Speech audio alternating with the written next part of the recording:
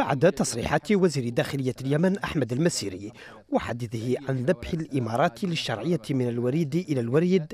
وزير خارجيتها عبد الملك المخلافي يقولها مدوية لقد فقدنا الثقة في التحالف الإماراتي السعودي.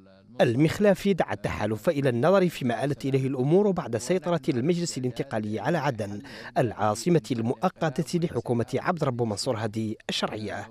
يحذر المخلافي كذلك من تبعات وعواقب ما ستؤول إليه الأمور في هذا البلد المثخن بالصراعات وبتباين رؤى وأهداف الأطراف المشاركة في الحرب عليه.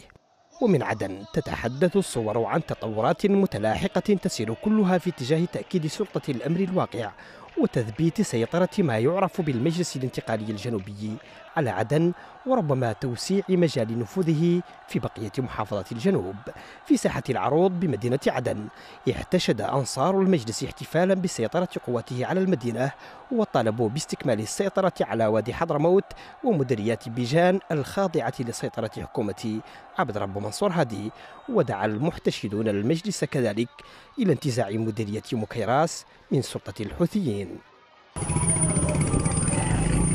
ولم تتوانى قوات الحزام الأمني المدعومة إماراتيا منذ سيطرتها على عدن عن ملاحقة معارضها داخل هذه المدينة الساحلية. وواصلت قواتها تشديد الإجراءات الأمنية في المدينة واقتحام مقار الوزارات والهيئات الإدارية ومنازل القادة الموالين للحكومة الشرعية.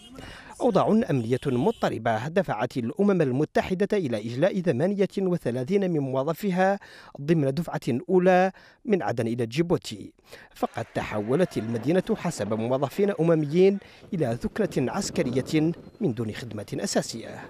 أما المدنيون في عدن فقد تركوا لحالهم تتقاذفهم ولاءات الأطراف اليمنية ومطامع القوى الإقليمية والدولية.